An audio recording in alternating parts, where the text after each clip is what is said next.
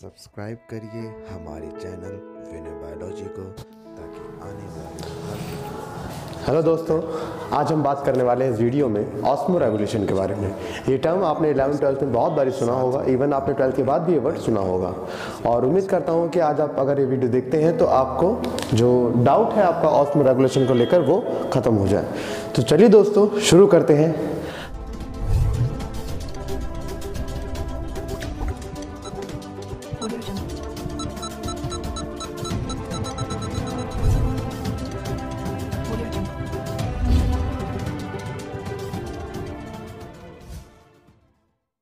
Hello दोस्तों, मेरा नाम है विनय और आप देख रहे हैं मेरा यूट्यूब चैनल विनय बायोलॉजी।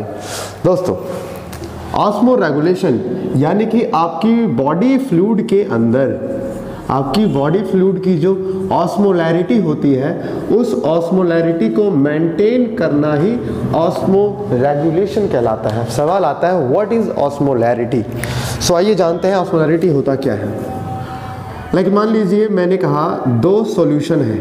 एक सॉल्यूशन है ए और दूसरा सॉल्यूशन है बी मैंने कहा कि ए सॉल्यूशन के पास A solution has more osmolarity as compare to B solution यहाँ पे ए के पास ऑस्मोलैरिटी ज़्यादा है, इसका मतलब मैं ये समझूँगा, इसके पास नंबर ऑफ़ सॉल्यूट पार्टिकल क्या है? ज़्यादा है. जबकि बी के पास नंबर ऑफ़ सॉल्यूट पार्टिकल क्या है? कम है. सो so, जिस सॉल्यूशन के पास ज़्यादा नंबर ऑफ़ सॉल्यूट मिलता है उसकी ज़्यादा ऑस्मोलैरिटी होती है। यानी कि ऑस्मोलैरिटी का मतलब होता है number of solute in per litre of that solvent so per litre of solvent में कितने सॉल्यूट पाए जा रहे हैं वो कहलाता है ऑस्मोलैरिटी अगर मैं आपसे कहूँ कि आपके घर में जो पानी आता है यानी कि जो फ्रेश वाटर होता है आपके घर का उस फ्रेश वाटर की बात करूँ दूसरा जो सी वाटर होता है जो समुद्र का पानी होता है, आप मुझे बताइए दोनों में से किसकी ऑस्मोलैरिटी ज़्यादा होगी?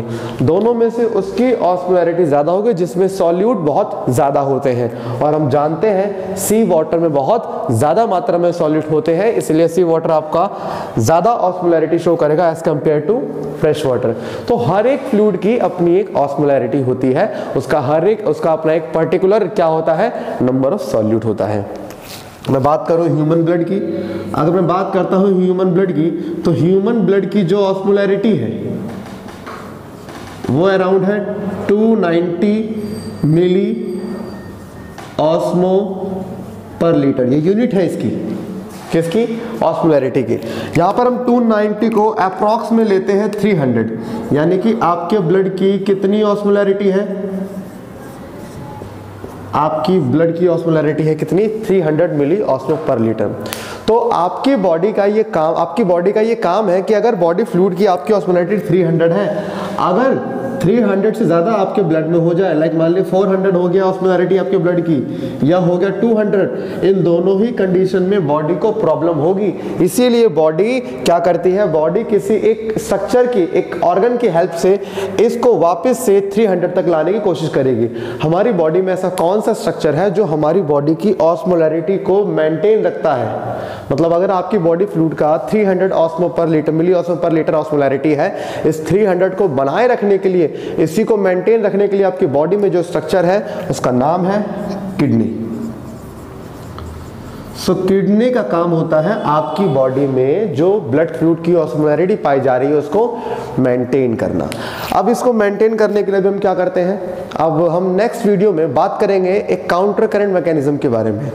अगर आपको ये वीडियो क्लियर है तो आपको नेक्स्ट टाइम जो हम टॉपिक करेंगे, वो आपको पूरा क्लियर हो जाएगा। और फिर मिलते हैं नेक्स्ट वीडियो में। जब तक के लिए जुड़े रहिए। और हमारे नीचे देखिए डिस्क्रिप्शन में आपको हमारे बाकी अदर पेज के लिंक मिल जाएँगे लाइक एफबी के इंस्टाग्राम के। आप वहाँ पर जाके उसको लाइक एंड शेयर करिए। फिर मिलते हैं नेक्स्ट वीडियो